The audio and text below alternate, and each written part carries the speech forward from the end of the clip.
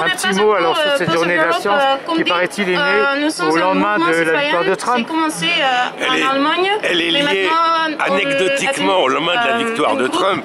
Parce que Trump qui est allé un peu fort euh, contre la science, C'est apolitique. mais Euh, elle, part, elle part d'un mouvement Chaque qui s'est aussi appelé on Sauvons la recherche. pour, pour, Parce que pour l'ensemble des gouvernements, la science n'a plus d'intérêt. La science n'est plus rentable immédiatement. La euh, science, c'est la donc, connaissance déjà l'éducation. Et ça, ce ne sont plus des 12 valeurs qu'on veut défendre aujourd'hui.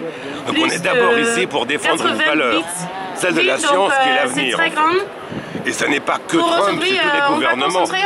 euh, Reconnaissons-le, euh, gouvernement français en particulier, qui nie complètement l'intérêt de la science en tant que telle. Euh, Il n'y a plus de budget pour la science en France? Les budgets se sont effondrés. Oui.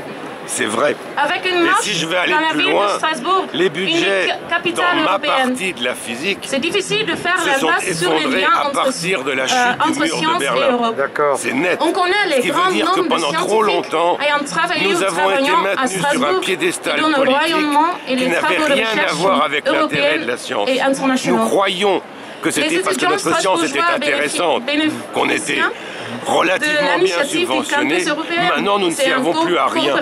Puisque l'éducation, la connaissance, ça ne sert plus à rien. 2004. Voilà pourquoi on est là. Oui. Et alors, est-ce que euh, cette baisse de budget public, l'opportunité de suivre ça des n'ouvre pas la voie les euh, universités à la partenaires pénétration des capitaux profiter privés, comme on le voit de euh, l'ouverture dans beaucoup d'endroits et des, Ça ne sait pas que ça ouvre la voie, ça a ouvert la voie.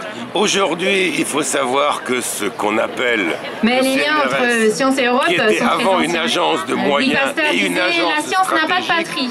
n'est plus qu'une Et en effet, de les, moyens. les scientifiques La ne recherche connaissent pas de française et leur à langage, l'ANR, le langage de chaque agence discipline, nationale de la recherche qui est financée par le Erasmus. crédit impôt recherche Bah, c'est pas dans le laquelle nom, dans simplement le nom d'un célèbre programme d'échange pour les étudiants en la Europe. recherche. Né dans le comté de